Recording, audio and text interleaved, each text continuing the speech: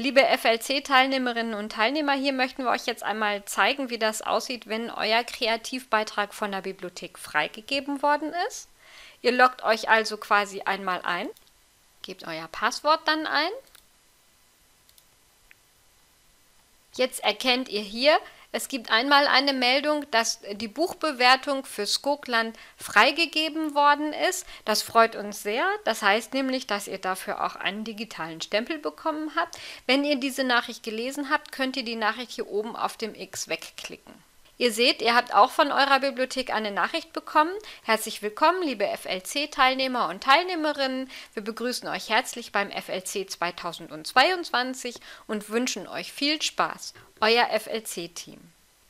Wenn ihr jetzt sehen möchtet, wo euer Beitrag ist, geht ihr hier oben auf mein Profil, mein Profil und Kreativbeiträge und seht dann, aha, das Buch ähm, Skogland ist genehmigt worden, der Beitrag, und ihr habt hier jetzt auch einen Stempel bekommen. Das ist ein digitaler Stempel.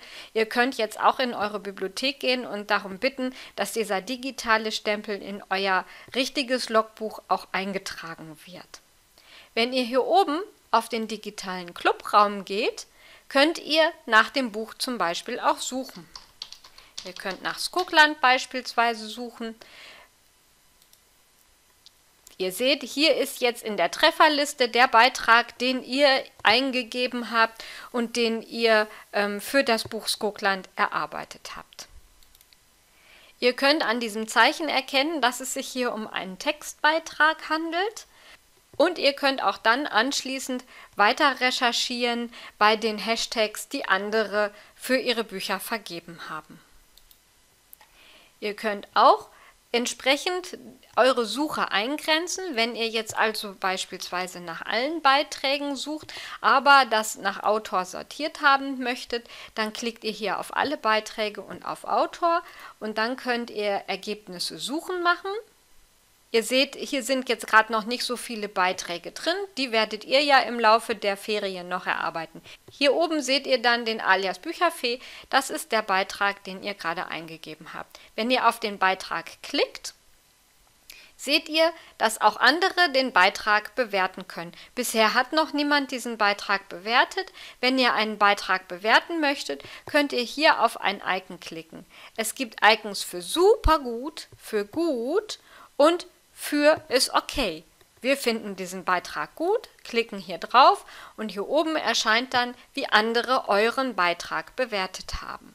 Wenn ihr hier oben auf den digitalen Clubraum geht, dann könnt ihr hier aus zufällig ausgewählten Beiträgen wählen. Es wird immer ein Audiobeitrag, ein Bildbeitrag und ein Textbeitrag angezeigt, sodass ihr euch für eure nächste Lektüre inspirieren lassen könnt.